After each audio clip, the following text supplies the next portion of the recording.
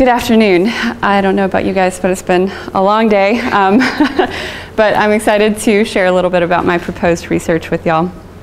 Um, so I uh, work on several islands uh, along the Georgia coast, and I'm really interested in how land use history has affected the forests that we see on these islands today, and how that history might interact with other sources of stress to influence the way these forests change in the future.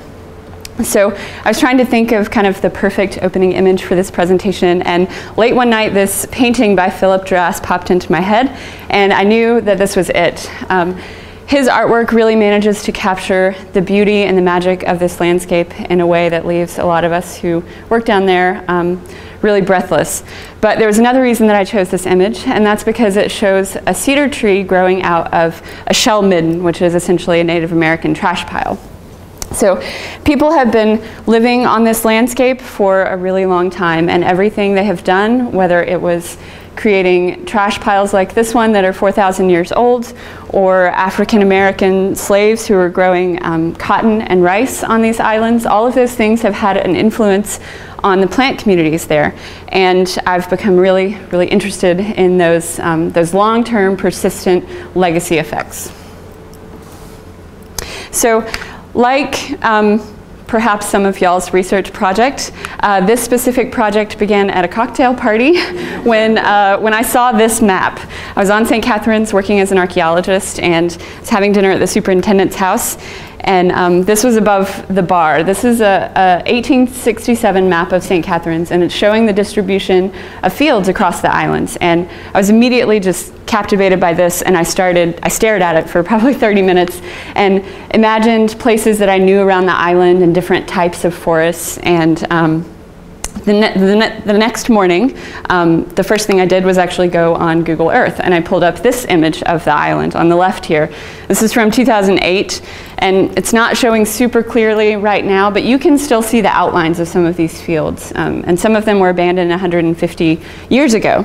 So I, um, I, I, didn't know exactly what I wanted to do, but I knew it, it, had to have something to do with these legacy effects. So my advisor was lovely enough to let me spend a summer wandering around the forests, um, doing important survey work.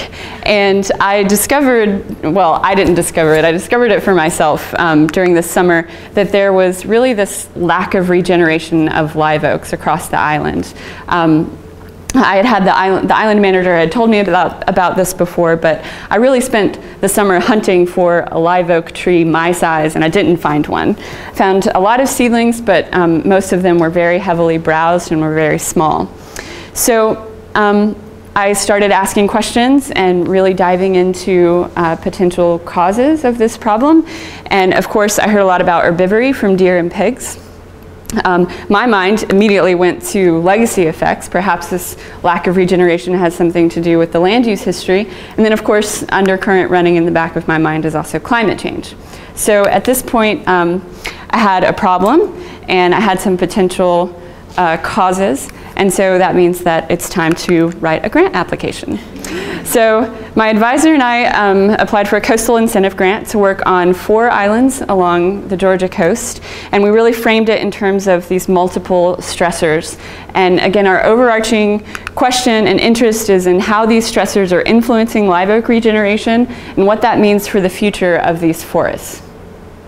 So before I go into the meat and potatoes of the ecological questions that I'm asking, there's another aspect of this project that I want to talk about. It's kind of the icony part of it. Um, so even before we submitted the application, while we were still working on it, we spent a lot of time with the island managers. And we did these walking interviews where we essentially went out into the forest with them and their staff and listened to them talk about the forest. And the, um, the drivers of ecological change that they saw and learned a lot about the history of very specific places on these islands as well. Um, we got access to some really amazing unpublished, undigitized maps and surveys. And we had such an overwhelming um, kind of amount of interest and support from these managers that we decided to host a maritime forest research workshop, which is coming up way too quickly. Um, and we're going to be sitting down with land managers and other stakeholders and researchers from the coast and really trying to identify key research priorities, knowledge gaps, and conservation goals. And then um, after that workshop, I'm going to be um, continuing these walking interviews and doing semi-structured interviews with these land managers. And my goal is to really understand the cultural and mental models they use to uh, make their management decisions. So how are they obtaining knowledge? Who are they talking to? Are they going into the literature? Are they you know, using their own long-term and, and astute observations?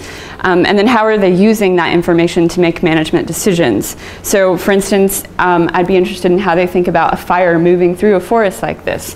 And uh, how did they come to that knowledge and, and how does it actually influence their fire management strategy?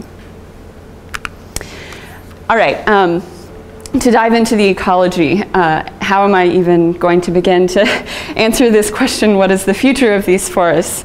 Um, well, I'm going to briefly explain my overall research design because these questions are, are, pretty tightly interwoven with one another. But step one is to build fences on these islands. We know herbivory is a problem. So I'm going to be putting up deer and hog fences um, in different areas across these islands with different land use histories.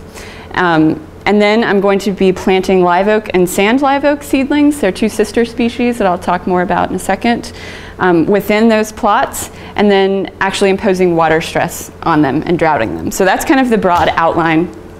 Um, now I'm going to go through each one of these components uh, kind of one by one.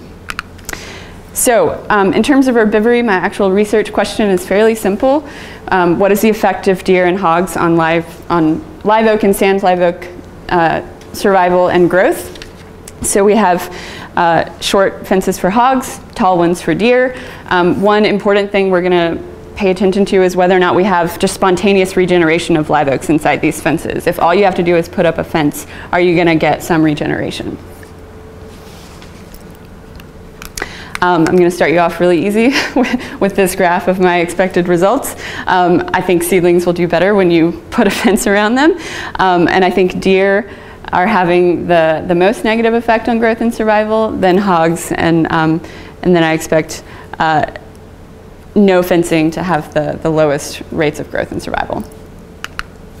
All right, to make it a little more complicated, again, these fences are going in forested areas across these islands that have different land use history, that were either cultivated around the time of the Civil War, um, probably in cotton, or, uh, or uncultivated. We, don't, we have no reason to think there was a, um, a historic period of cultivation. And I have kind of two main questions. The first one is, is fairly simple. What is the effect of land use history on oak seedling survival and growth? So is there something about uh, these areas in terms of um, changed properties, uh, soil nutrients, that kind of thing that might affect uh, oak seedlings? The second one is a little more complicated. I'm interested in if drought and land use history are actually um, interacting to potentially influence oak seedling survival and growth. And this question really um, is born of an idea called the rise of the mediocre forest. And this suggests that chronically stressed trees might actually be better able to withstand periods of episodic stress better than their healthier counterparts. So I'm suggesting that this history of cultivation is actually imposing a chronic stress on these seedlings. And you know, maybe they develop deeper root systems, maybe they have a different um, leaf to shoot ratio, and that actually makes them a little hardier and tougher and better able to withstand a drought. So, drought. I'm going to give you the 60 second version of what happens to a plant when it undergoes water stress. Um, you can think of plants like straws. They suck up water through their roots. It travels up through the xylem in their stem and then it evaporates out of the leaves. So when um, a plant is experiencing water stress, that water column that's moving within its stem actually comes under greater and greater tension and, and the pressure inside the stem becomes more negative. And if that tension becomes too great, an air pocket can actually kind of slip into that xylem vessel. And in effect, this, this process is called embolization, and in effect, that little air bubble will block the flow of water through the stem in that vessel. So as water stress continues, more and more of these vessels become embolized, and the plant essentially loses hydraulic function. It loses the ability to transport water through its stem. Um, so this is fairly easy to measure. Uh, you can just cut out a chunk of stem, attach some hoses to either end, force water through, and then measure that rate of conductance. And that will give you an idea of how many vessels are embolized. Um, and this allows you to create what's called a vulnerability curve. I'll show you a picture of that in just a minute. But it basically, you can chart um, how a plant loses hydraulic function over a period of time as, as water stress continues. So I've already spoken a little bit about drought and land use history, my questions related to that. I'm also interested in um, root sprouts and acorn seedlings. These are two different types of seedlings. Root sprouts come up from the root. Acorns come from, I call them real seedlings. Um, and they potentially have very different vulnerabilities to drought, and this is important for a number of reasons. And then my second question is related to these two sister species, live oak and sand live oaks. We think that sand live oaks are actually going to be better able to withstand drought than live oaks, um, but they fulfill kind of the same ecological function in, in these forests. So we're interested when we think about future climate conditions if uh, there's a difference in the vulnerability of these two species. So this is just a, a, diagram showing the Sperry method. This brown section here would be the stem. You have a mass balance. You're forcing water through and just measuring that rate of conductance. And that's going to give you this graph, which these graphs are a little funky to interpret, so I'm going to take just a second to explain it because I'm going to show you a lot of them. On this side, you have the percent loss of hydraulic conductance. You can think of this as um, hydraulic function. So down here at the bottom, you have full hydraulic function. Up at the top, you have 100% hydraulic failure. On the bottom here, this, this is basically going from very wet, moist, um, to very dry. And this is just that pressure, that tension on the water column within the xylem. So as things become more dry and you get greater, greater tension, uh, the plant will actually begin to uh, approach and, and eventually lose complete hydraulic function. Now, in this example, you can see live oaks um, are actually losing hydraulic function earlier, and they're actually losing it more quickly than sand live oaks. I think. That's what I'm going to be testing. All right, so um, expected results, and I'm sure my data is going to look exactly like this. Um, Again, I suggest that seedlings in areas with a history of cultivation will be better able to withstand drought than those in forests with no history of cultivation. So um, again, you can see they're losing hydraulic function earlier um, and, and potentially more quickly.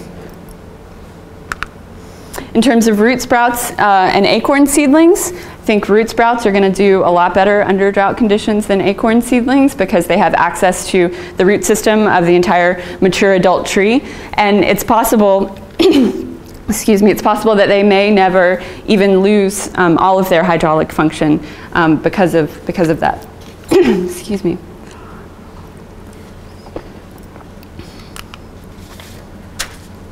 And this last, lastly, this question of, of two species, sand live oaks versus live oaks. Again, this is from the example. I think that live oaks will, um, will lose hydraulic function, be less able to tolerate drought than sand live oaks. And this can have, um, again, important implications under changing climate conditions and potentially inform our conservation slash restoration strategies. So um, a few kind of wrinkles or potential problems with this research. I'm very close to wrapping it up.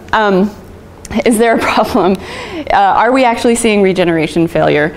Uh, live oaks are incredibly long-lived species. It's really hard to understand um, the dynamics of their regeneration and the different methods they have for regenerating. So if we're not seeing continuous recruitment, meaning recruitment every year, that might not actually be a problem for these species, but we just simply don't know. Um, and then lastly, if anyone has any ideas on how to distinguish a root shoot from an acorn without digging it up, then please come talk to me afterwards. All right, thank you very much.